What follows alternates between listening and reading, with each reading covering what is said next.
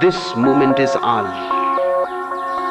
And my insistence is this that you are already that which you are searching.